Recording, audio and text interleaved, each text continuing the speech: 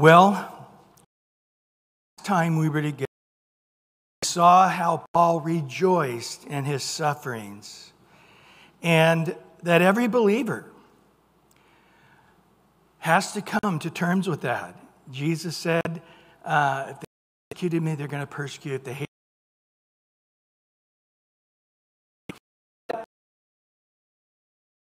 it through your head. All who live God. Obviously, it's what much of the world and grace God somewhere or form hated. Faith back down. Chapter 5 today, which I became a minister to the body of Christ, was called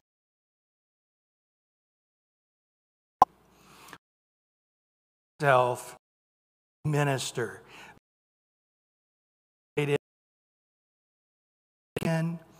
It's, it's literally a Greek word that means the way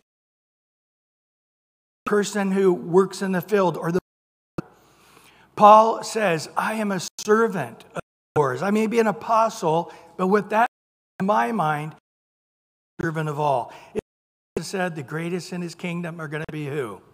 Those who have served the lowest and the most. And he sees this as a stewardship. He says, which I apostle, always make myself a servant according to the stewardship which God has given to me for you to fulfill the word of God, namely, minister to help the church in sanctification. So, which meant he to places that have never heard about, goes into of all kinds of country. People come he takes off, so to speak, puts on the minister hat. And now he work, the grind work of just helping people grow in Christ and learn to give themselves to God willingly. Comfort is a friend of mine who's an evangelist. He said the longest 10 years history six months. It's a, it's a shepherd. His job isn't grass, walk him slow to the water, walk him back to the grass, walk him back in the crowd. Takes uh, eight, ten uh, and uh,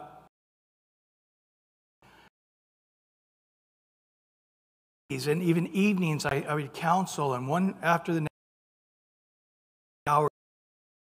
and uh, I'd have counselor I can do one a week, but I do three in a row. And how do you do that? It's like, I, I don't know. I'm just a turtle, you know. I just uh, am slow, grind it out, and there's grace to do it. And, and Paul had to learn this. He had to become walks with the sheep and helps them grow in sanctification. He calls himself interested which is somebody who willingly makes himself a slave for the rest of life. And that's a teaching for another time, but he was a doula, a servant. It's from God, which God has given me. So this, this is not a choice. This is God saying, Paul, wash these feet until all of them are clean. Paul, be a waiter and serve these people until they're fully fed. And so at that point, I had to become something that just tedious and constant and daily looking at and the word and the counseling and and and it was a stewardship. I had to be faithful to this. Uh, the actual word uh, stewardship, akinoi, uh, it, it, comes from uh, oak house. It's house manager, somebody overseeing the house. I've got to oversee the church that got started. Got to build up leaders and over to them and talks about this that this was the one that he knew on the day of judgment he was going to have to give an account. Let a man, he says in 1 Corinthians 4 1 through 5, let a man so consider us servants of Christ, stewards and stewards of God. Moreover, it's required of a, stir, of a steward this one thing to be faithful, to keep doing it daily, daily, daily. Master says you're no longer to do. As far as you guys judging me, whether I am being a pastor or not, I don't care about your judgment. I don't care what you think of me. And as far as judging myself, because I'm uh, incorrect. People can also judge somebody, but then when they do the same thing, they want mercy and they give themselves mercy. We often, uh, sometimes, are harder on ourselves than other people. You, you gave grace to that person. Why are you yourself? We often get so wrong. So it says in 1 Corinthians 4, therefore, before the time, until the Lord comes, who will both bring to light the hidden things of darkness and reveal the counsels of the hearts. And then he says this that each one's praise will come from God. And so when I stand before God, the main thing is I've been with what I have. When often I, I read this, I had somebody even mention this last week. They I see that I always with the money. And I'm like, well, that, that's also a part of it. You know, I think in our lifetime, God's going to your lifetime, uh, you've handled X amount of money, $3 million went through your. And this is how much you tithe. This is how much you gave above the tithe. This is how you, and I'm going to have, but I think equally so, time, right? I think equally so, my wife washing her. And of course, those who teach get a severer judgment. Was I faithful? And so I breaks down to a lot of things, but it really does come down to faithfulness. Faithfulness in this area, faithfulness in that. It's all of it to have character. You know, that's character, isn't it? I mean, character is being able to do the right thing, even though screaming doing the right thing, right? Sometimes you're just, oh, it's so hard. And then to do it every day, all day, every day, all day. We're all having to beat our bodies into subjection at times. But being that consistent person is something where God is trying to form us in. And we go through every type through every type of ups and downs, but we are still in the Word. We're still praying. We're still fellowshipping, uh, going to church. We're, we're still sharing our faith. We're still loving the Lord with all our heart. That's, that's it. And we all, that's it.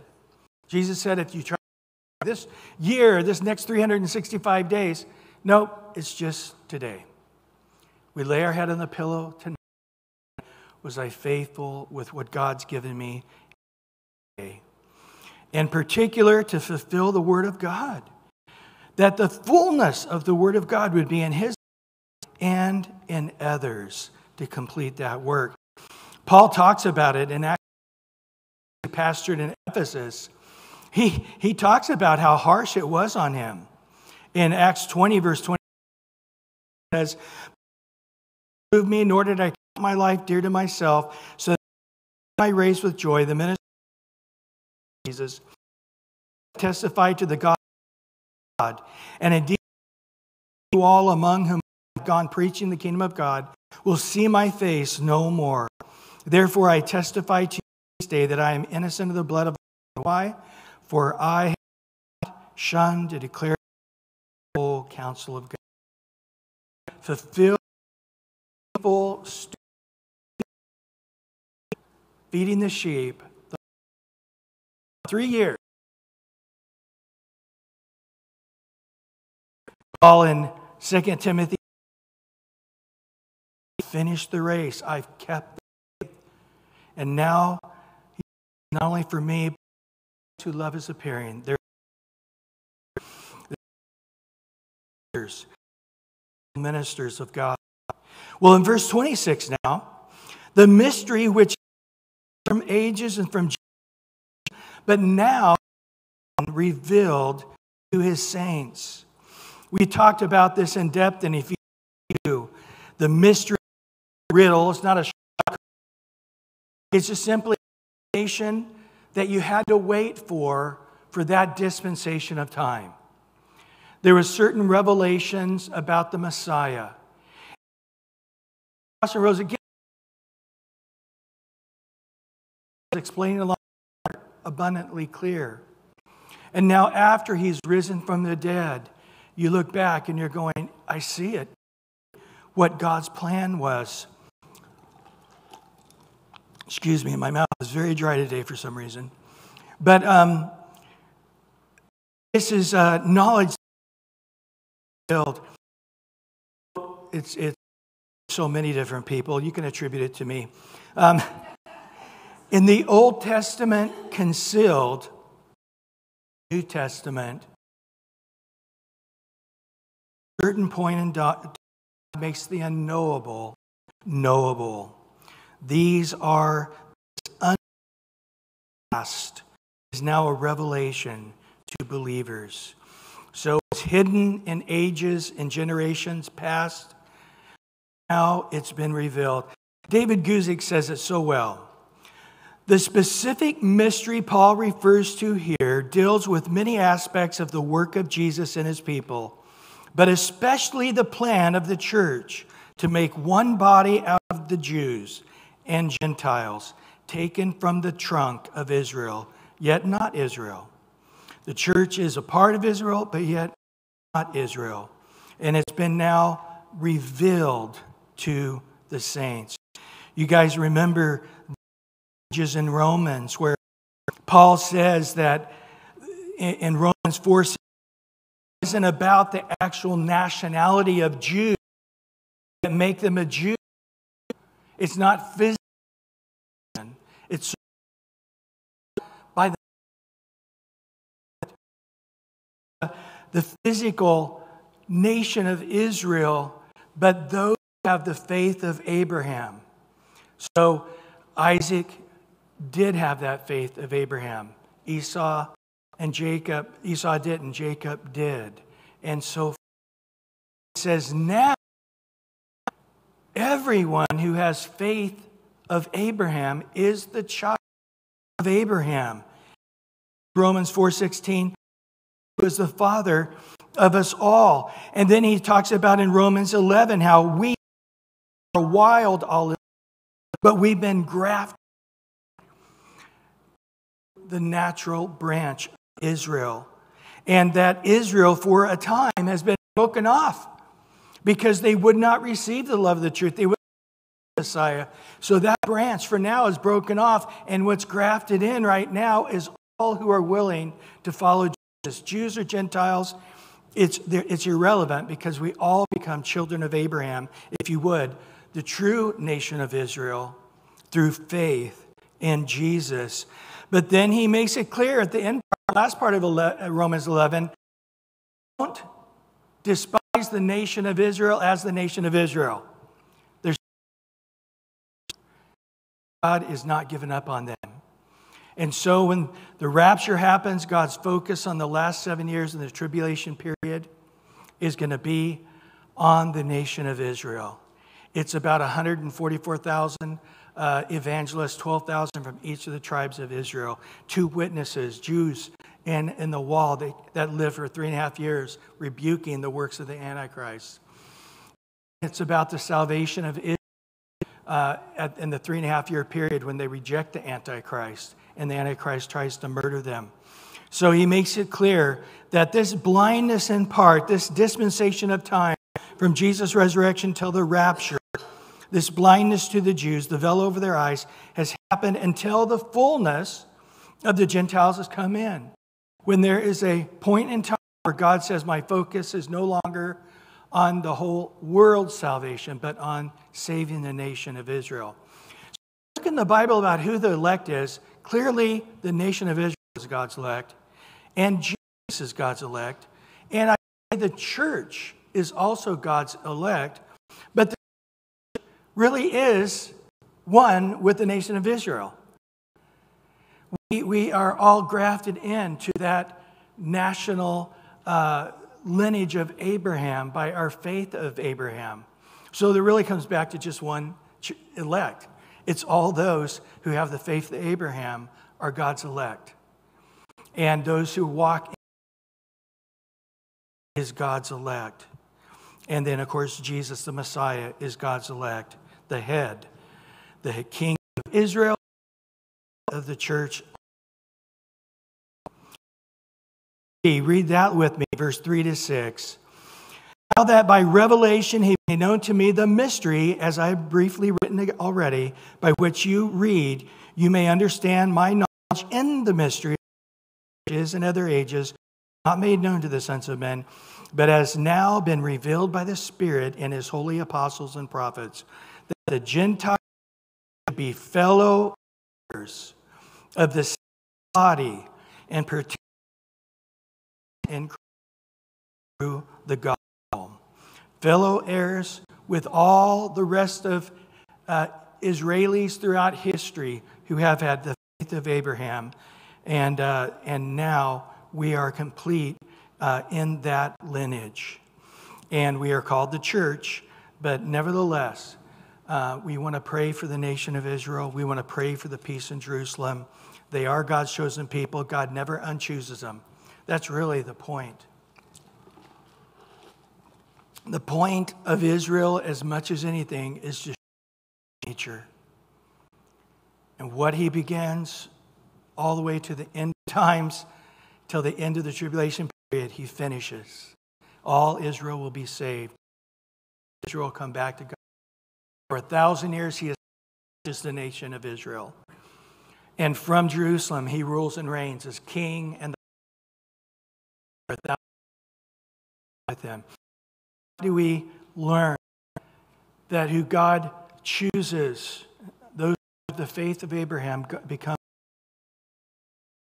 God never stops until he is successful to get them who his kingdom takes a trip if reign those are have the faith of Israel God will not stop till the end us as Christians in the middle of that going wow if that's God's nature towards a rebellious Israel how much more that is true of us who believe in the Lord. Right? Well, verse 27 To them God willed to make known what are the riches of the glory of this mystery among the Gentiles. Glory. That phrase, guys, probably one of the phrases Bible. Christ in you, the hope of glory. This is mystery that Christ is in you. I mean, we understood that as we looked that God was going to be a light, come and be a light, but to the Gentiles. But did we understand the depth of what it means, Christ? In Remember in Jeremiah 30, prophesied and said, there's going to be a new covenant with the nation of Israel, or we know now as the church, and all become the nation of Israel, all who have the faith of Abraham. And he says in Jeremiah 31 33 to 34, But this is that covenant, this new covenant that I will make with the house of Israel after those days, says the Lord. I will put my law into their minds and write it on their hearts. I will be God. They shall be my people no more shall every man say, Teach his neighbor, every man his brother, saying, Know the Lord, for they shall all know me, from the least of them to them, says the Lord. Love this last line, for I will forgive their iniquity, and their sin I will remember no. The mystery is now revealed that we see it. Spirit circumcise our heart, His truth in our hearts. Jesus said you can get rid of all except this love the Lord with all your heart, mind, soul, and strength, right? And love your neighbor as yourself. When you read the Gospel of John, Jesus says it several times A new commandment I give you that you love one another as I've loved you. A new commandment I give you that have you much Jesus says the Father loves me? This is my beloved Son, whom I'm well pleased. Will that love and me now I now this is the new commandment. I'm going to put you back under the law. Just love one another as I have loved you. By this, the world will know you're my disciples, by your love for one another. And so, this is the hope of glory. Again, you've heard me say this many times that the word hope in the Greek is not the same in English today. The word hope in the Greek is a certainty. It's not if it might happen today. That's an if, you know. No, no, no. This is a it's a certainty. It is going to happen, but how glorious is going to be. Man, we are going to see the glory of the Lord. You know what? this week, you know, as you're sort of waking up or awake, you have those, those things. And of course, I, I, I hate summertime for the reason that it takes so long to get to September for football season to start. And, and they talk about it and talk about it, and it hurts. And they start showing the past year's great. And watch old football games, and, and they'll say football, and you're, oh, football, it's, it's July. Oh, uh, you know, from 1920 or 2020, there was this great game and, and, and it, it aches. And then finally, last Thursday night comes. Ah.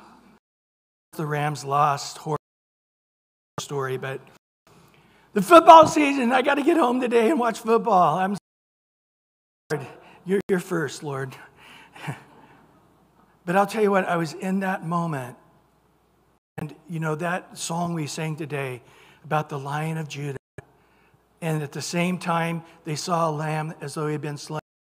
And everybody in heaven began to open the scroll and weeping. And finally, they say, The lamb who is slain is worthy to open the scroll.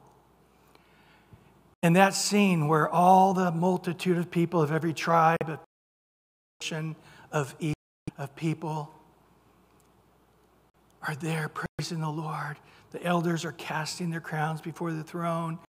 Looking upon Jesus, the cherubim and the seraphim are flying around, and all the angels singing, along with all those who have been and raptured with the Lord. You know, I read that, I've taught that, but I'm telling you, all season's coming. I'm telling you, in heaven, next to one another and we're going to be happening. Oh, Jesus, you see that? We're here. You know the song, right? It's in Revelation. You are worthy. You are alone. Jesus, read glory and honor and power. Guys, it's we are in the end times. The spirit of the Antichrist is in the world. Good is evil, and evil is good. I was talking to my friend Brian Parrish this week. He goes, pastors for 40 years. And we knew it was going to be good's evil, but we didn't think it was going to be listed. I was Uh, and this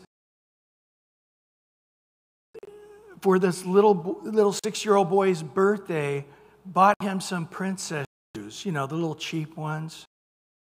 He never takes them, he even sleeps in them. He's, this little boy is dancing around the house in his princess shoes. And, and she's like, oh, this is the best day of my life. My son's finally finding his identity.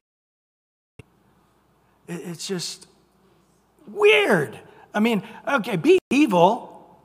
Uh, that's fine. But don't be so disgusting, weird, creepy. We didn't get. It's just the Antichrist is not evil, he's creepy. He's sexually twisted. And I think that's what Noah saw in the day of Noah. I think that's what Lot saw in the day of Sodom and Gomorrah. And, it, and it's just like, oh man, we thought it would be exciting before the rapture comes, and we're out preaching the gospel, and, and people tell the, the, the last of the Jews are coming in, the last of the Gentiles are getting saved, how exciting this is, and woo, and then we're raptured out. But it's like, oh my, take a shower. Uh, you know, I'm watching this simple, enjoyable show, and then two guys are kissing. Oh my gosh, what is going on here? I can just tell you, Andy is still doing well in Mayberry RFD. Okay? So thank God for, for those good old shows. And Dragnet, they're solving, solving crimes to this day. Oh, there is a still. But either way, we are confident, even though these are hard times to wrestle through. And probably for the first time for Western Christians, we are going to suffer what those have in the East and the, the, great, the Far East and the Middle East have experienced their whole lives, and that is it's going to cost you to be. You want Bible studies in your homes. People are going to turn you into the police for talking about Jesus to them. In school, and if you wear the wrong kind of shirt or wear the wrong kind of hat, you're going to suffer Yes, it's okay. Then we'll have a ministry, right? David Guzik says this The truth which was now made known is that the Lord lives and resides within us. It is clear from the Old Testament that um, it was not revealed that he would abide in us and we in him. Isn't that amazing? We the Lord raised from the dead, he's breathed John 20 and they received the Holy Spirit. And then in John 14, 15, 16, he talks about how the Holy and he's going to be our comforter. He's going to be our teacher. He's going to take the things of Christ and teach it to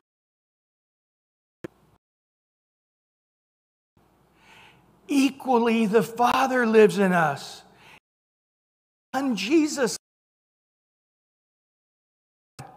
one Lord. And we learn that the entirety of God the Father, God the Son, and God the Holy Spirit free us. Ephesians 1 says it's the down payment, it's the guarantee of our being with the Lord. He has marked us with His ownership. We are owned by Him. Jesus prayed this. You've heard me pray it many times. It's one of the most exciting passages to me.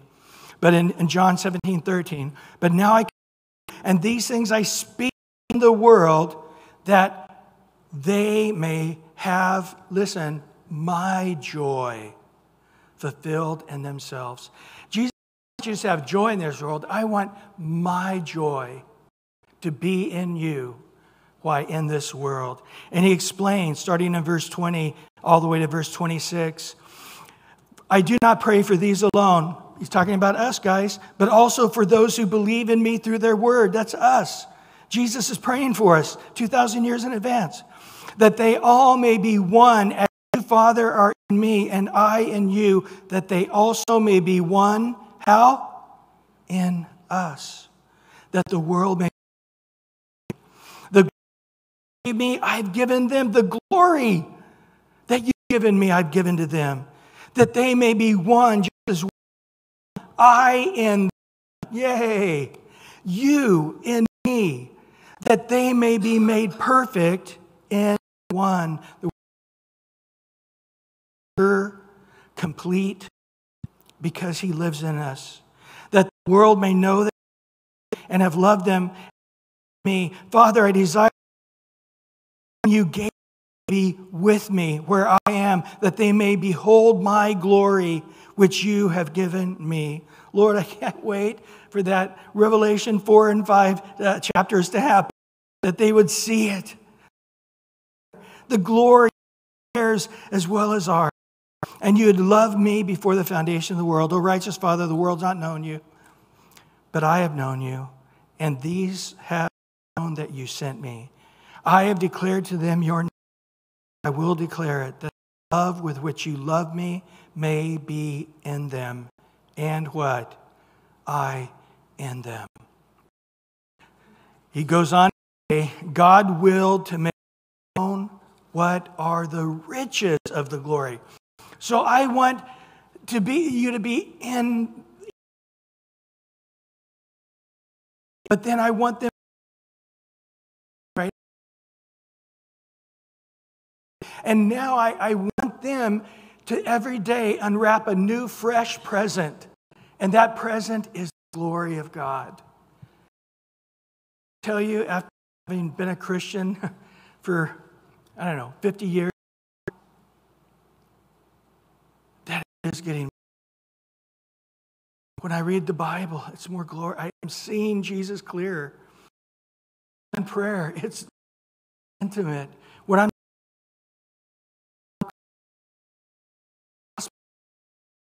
powerful, I'm experiencing a love I did not know when I was 20 for my family, for all of you. God wants the riches of his glory. Paul said it in 1 Corinthians 2 9. Eye is not seen, ear is not heard, nor is even entered into the things which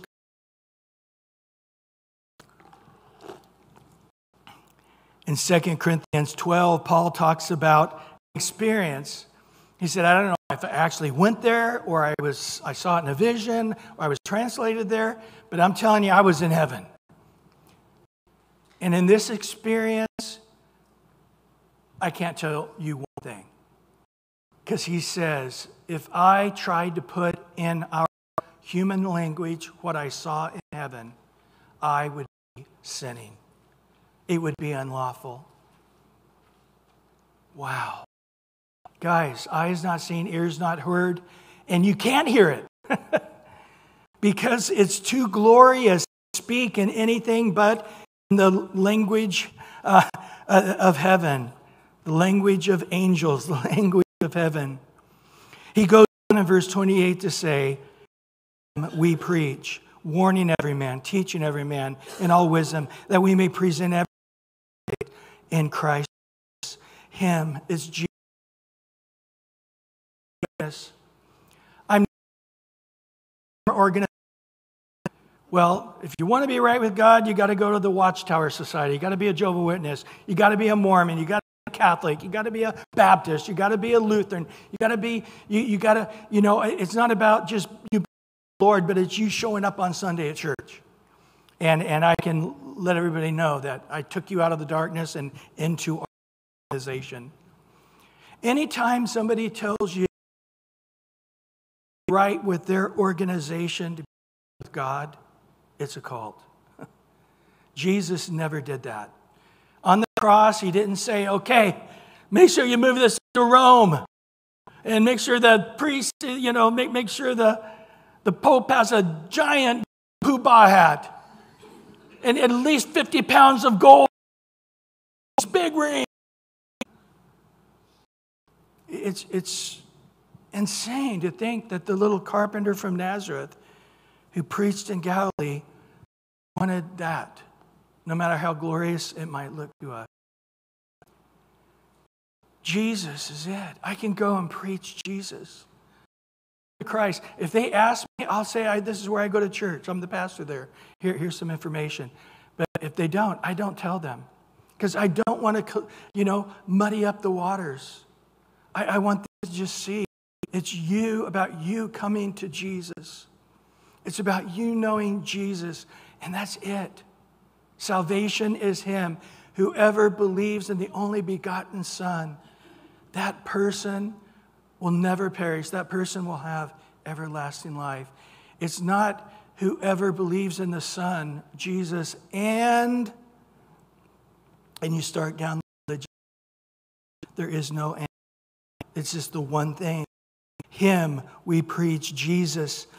In Hebrews 10, verse 5 through 7, it says, Therefore he came into the world and he said, Sacrifice and offerings you do not desire for me, and burnt offerings and sacrifice for sins you had no pleasure. Then I said, Behold, I come in what? The volume of the book, it's written of me to do your will, O God. Do you understand that? Every page of the Bible will point us to Jesus. I love that story in Acts 8, where Philip is literally translated about 50 miles away and he appears on this road to Damascus. And here comes this Ethiopian heading back to Ethiopia, this Ethiopian eunuch in his chariot. And the, and the Lord said, I translated you here to talk to this guy. So he goes up and he said, Hey, can I t- get a ride with you? he jumps in the chariot and he goes, What are you reading?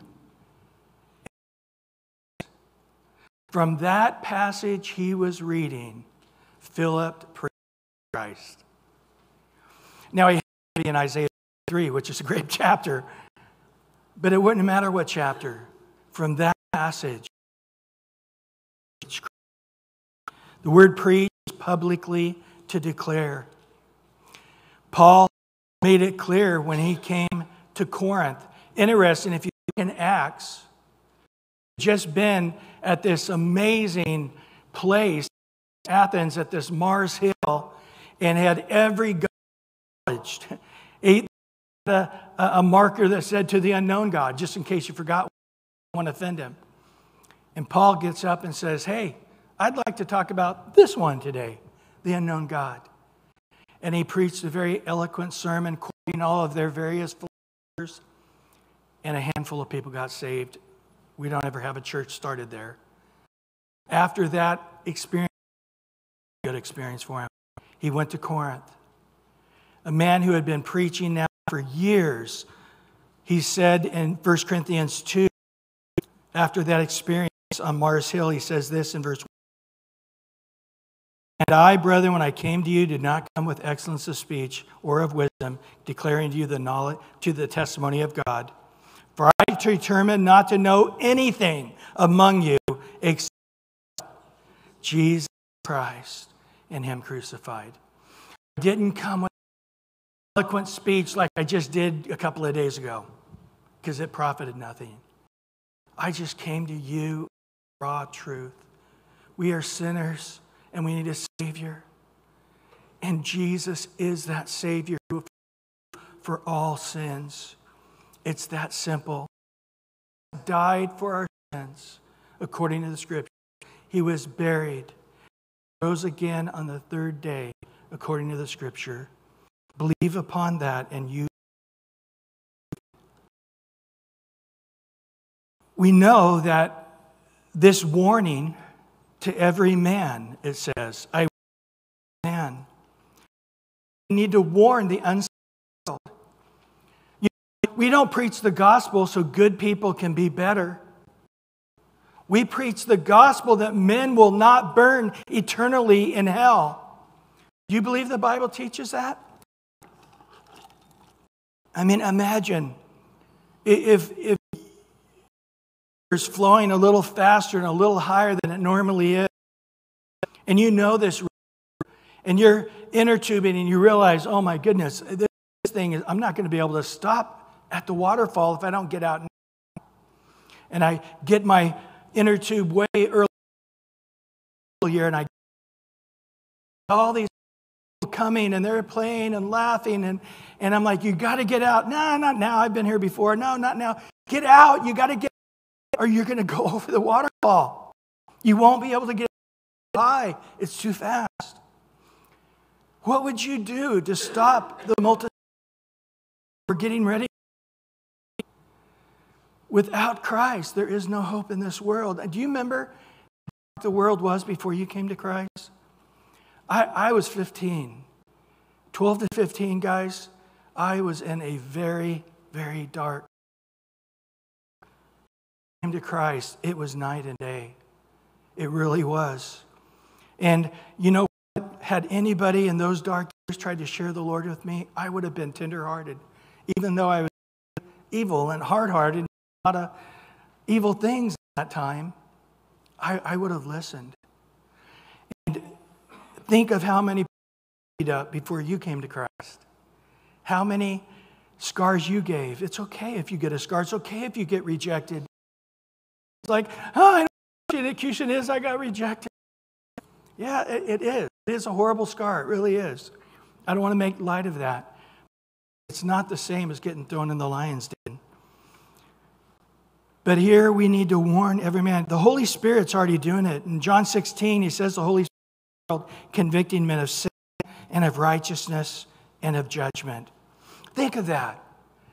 The Holy Spirit's telling him, you're, you're, you're a sinner and your sins are going to lead to death. And it's going to, even if you live a paper, and there's going to, there's a righteousness, and you righteousness no matter how good of a person you are. When we go out and share the Lord, most people say, You know how to get to heaven? I, I'm a good person, and I'm trying to be a better person. And I think God understands how sincere percent of the people say. And Is already telling them, not true. I am not sharing anything. I'm just sharing the Holy Spirit saying to them on a regular basis. And their spirit will bear witness with God's spirit. Saying is the truth that's already been spoken every day, and that there is a judgment to come. They're a sinner, they can't be righteous as God requires, and there's a judgment to come on those that have not received the one way of salvation. It is a part of the truth. John 8 32 says, You'll know the truth, and the truth will set you free. We know the truth. In John 3 17, God did not send the Son into the world to condemn the world. That's the truth. Everybody's saying, Well, religion is about condemning people. Jesus was not about condemning people. He, he I don't think in his three years of ministry,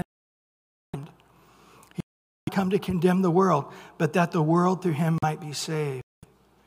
And he goes on in verse 18 to say, But he who believes is condemned, but he who does not believe is condemned already because he has not believed in the name of the only begotten Son of God. Everybody to hell unless it's interrupted by a Savior.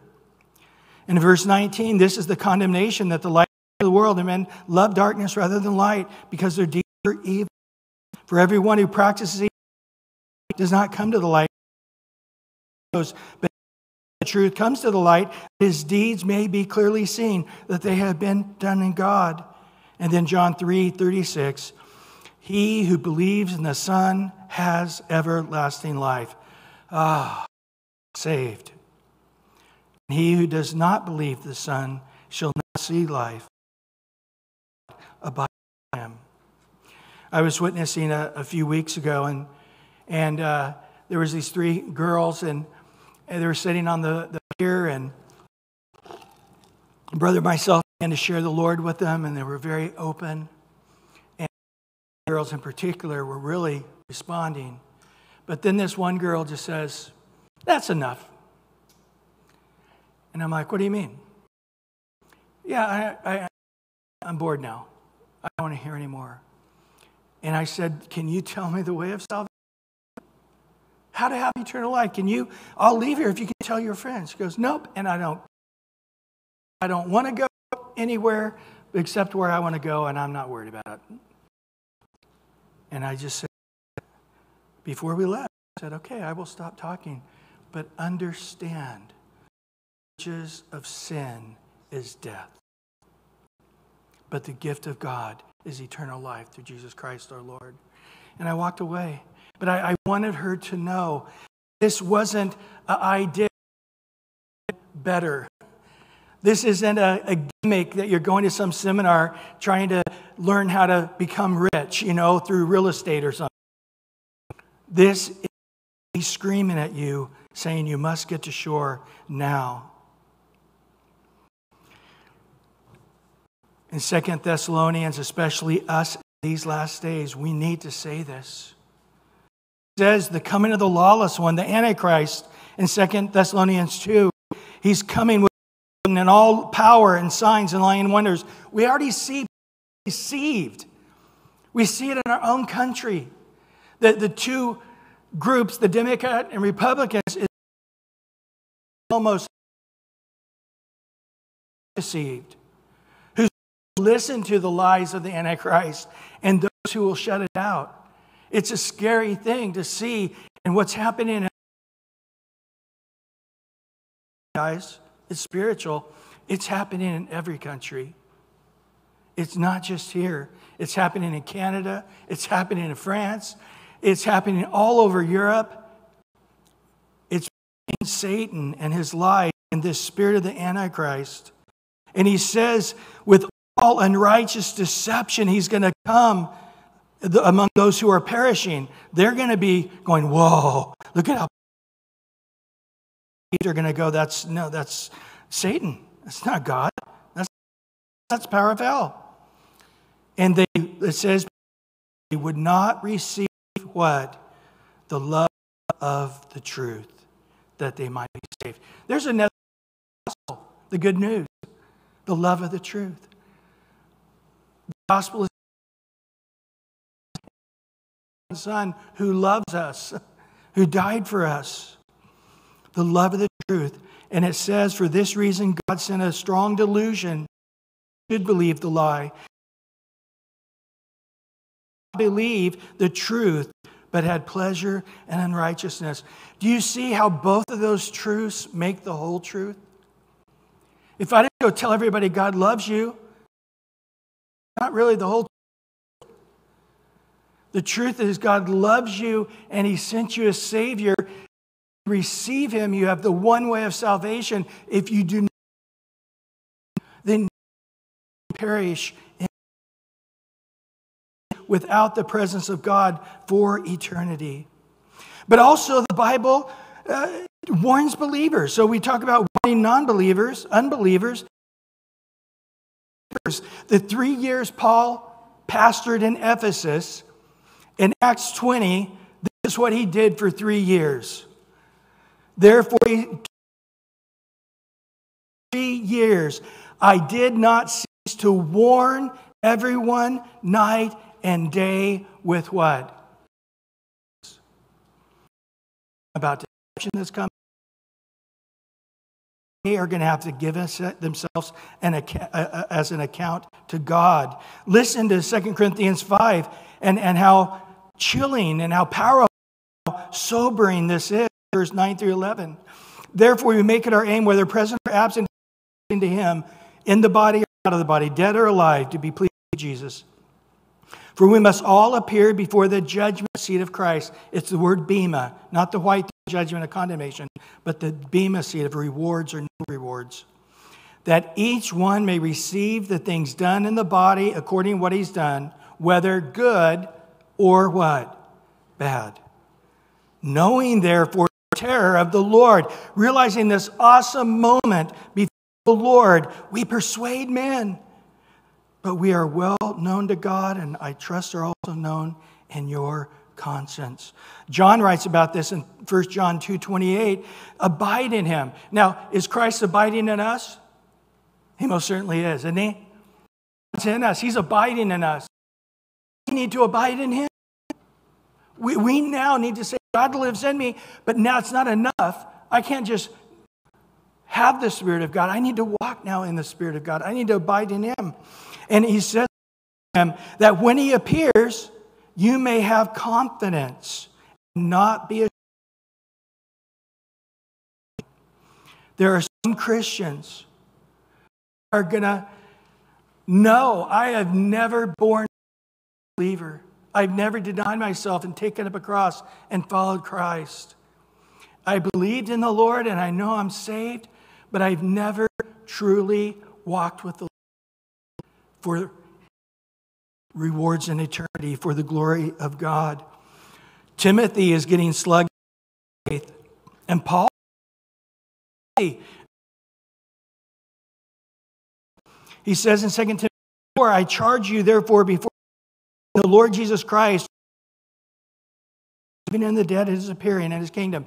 Timothy, I want you right now to visualize yourself going in front of God on that day of judgment in front of the bema seat. And he's saying, Have you been faithful with being sharing your faith? Which is a ministry all of us, is work all of us are to do.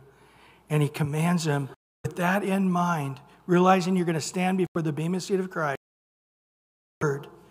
In season and out of season. Paul soberly says in 11 and 12. As I live, says the Lord, every knee shall bow to me, every tongue shall confess to God. So then each of us shall give an account of himself to God. Jesus said in Matthew 6, every idle word you're going to have to give an account to.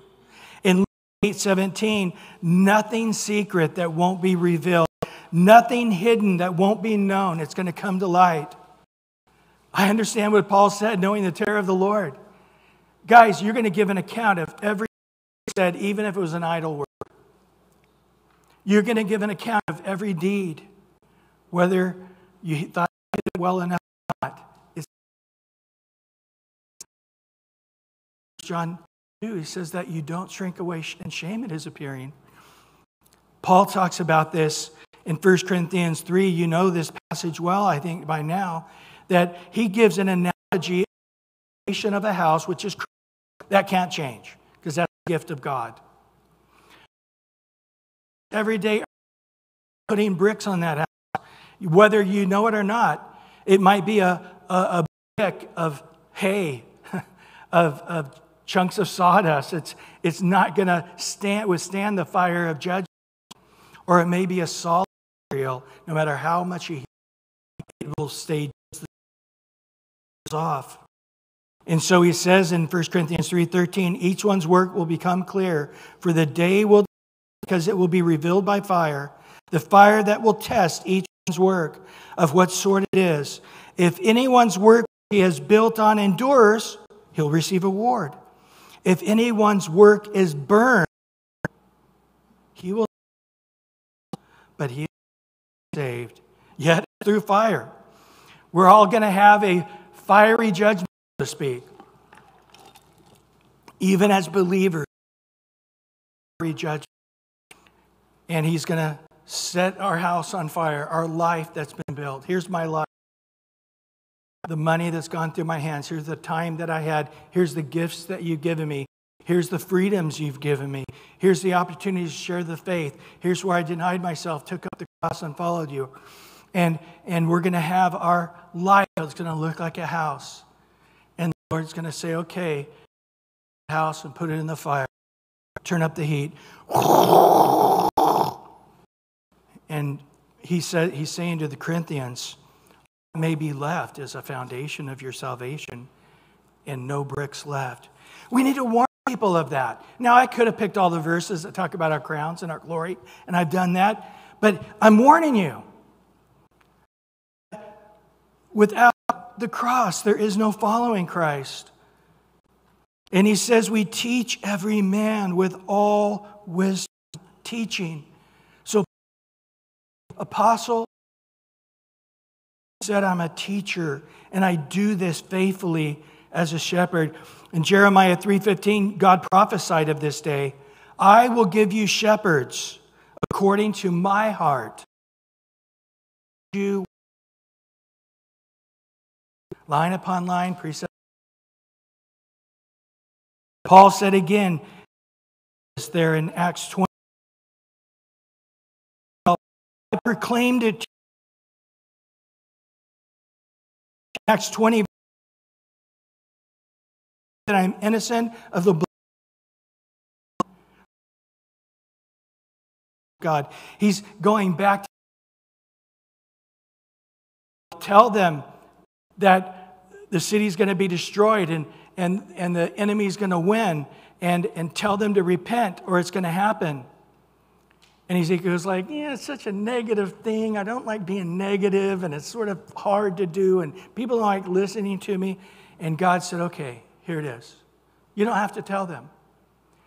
But the blood that is shed, I'm going to put to your account because you didn't warn them. But if you go warn them and they don't repent and the destruction comes, you're innocent. Your, your hands are washed, you're clean. But you have that destruction's coming. And so Paul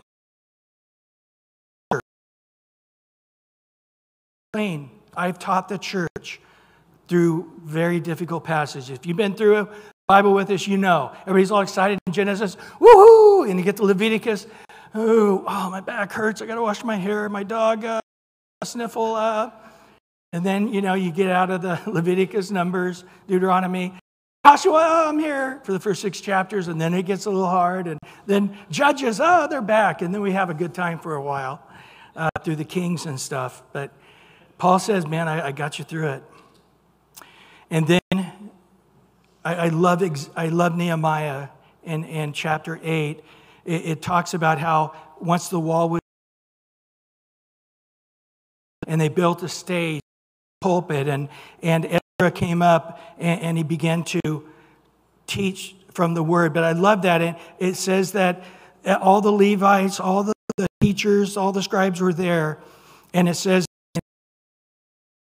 so distinctly from the book of the law of God, they gave the sense and helped them understand the reading. That's what I'm doing right now. I'm trying to give you guys a sense of it, and I do it in a rather long winded way. Sorry about that. But uh, it's just that you can go and read your Bible today, chapter verses 25 through 29, and go, oh, mystery, I know what that is. Shep, oh, I know what that is. Servant, oh, I know it. You, you, you can read it and know it. And then he said that we might present every man perfect in Christ Jesus or, or unto completion to get you there. Chuck used to always say, My goal is to make Calvary Chapel the sheep on the planet. And then you get healthy sheep, but you got to get for the equipping of the saints for the work of the ministry, not for them doing the work, saints to do the work. Body the knowledge of the Son of God to a perfect man, to the measure, the stature, I love this, of the fullness of Christ, until we are longer be tossed to and fro, carried about by every wind of doctrine, by trickery of men and cunning craftiness of deceitful plotting, but speaking the truth in love, hard sometimes to hear, but you speak it, may grow up and things into him who is the head, Christ. So I present every man perfect in Christ. I labor to do things. And then finally in verse 29 today, to I also according to his working, he works in me Notice this to the, he has a clear goal. He has a focus. He's, if he gets discouraged, he knows how to get right back. If he loses focus, he knows exactly where he needs to get going again. He, he says, I labor. Look at these words. I labor. This Greek word is to work unto exhaustion. You're plowing the field until you pass out. Somebody carries you in, you sleep, you get up, you plow the field until you pass out. Paul tells us in 1 Thessalonians verse 3 remain without ceasing your work of faith, and here it is, your labor of love. It's work to love people. People aren't that loving. Love the unlovable is a lot of work, isn't it? And, and you know, uh, when I go into the grocery store, I'm trying to love on, get some, like, you're a weirdo, and uh, that's it. I quit. I'm done. I'm just going to be the guy I want to be. You know, get out of my way you know. And, and No, it's, it's a love, it's labor. First Thessalonians 5, 12 through 13, and we urge you, brethren, to recognize those who those who are laboring among you and discourage how you live, how you walk, and, and, and, and the Lord. And 1 Timothy 4, and to this end we both labor 17.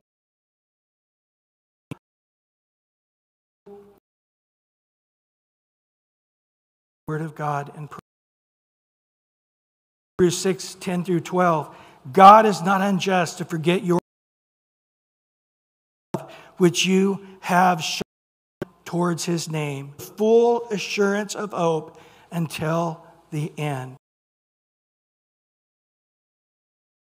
But faith and patience at the promise. I, I see that as a pastor. People have teens that leave the church. That's it. They're going out whether they're living in the house or not. Seems like I went to church club to be heathen. I went to church for them. But now that I'm not taking kids to church every Sunday, I'm not motivated to do it anymore. Now that I'm not teaching Sunday school, I just don't want to go to church anymore. Now that it's just for me, spiritual desire. And marriages are that way, right? As soon as the kids leave the house, the two people are looking at each other going, We've lived in the same house, but I don't know you. It's all been about the kids, the kids, and we haven't kept our marriage uh, ablaze. But the same with the Lord. And He's saying, you need to keep it to the end. You need to keep going till the end. Don't become sluggish. The word striving there is the word agonizomai. We get our word agonize. According to the working which works in me mightily. God's grace is sufficient. Paul said, I labor more than all, but it's not I, it's the grace of God. Sufficient for these things, Paul says, nobody, but God makes us sufficient. Finishing up verse 10 through Minister to one another with that gift as good stewards of the man of God. If is, let him speak. One minister, God supplies things God may be glorified through Jesus Christ, to whom belong the glory, dominion, ever and ever. I exhort you today to strive, dagonizomai, to labor out of love for God, out of love for his church, lost and dying world. Don't become sluggish. Don't slow down. Going to the end. And the grace of God is there. If you'll wake up, it says anything that God has made a work of art that He's prepared ahead of time. Good work. And God's predestined as a the moment you believe, you become the elect, and all of God's elect are predestined good works every day. There's a hundred, whether you do 20% or 60%, there's a 100%. If you abide in Him as He's abiding in you, walk in the Spirit, take up the cross, be willing to, to, to lose your life in order to gain the rest of the world. Dying is present in me that life would be in everyone else. You will walk in 100% of the good works. And then through the power, through the love, for love, through love, walk in that grace. Um, Christ as God desires.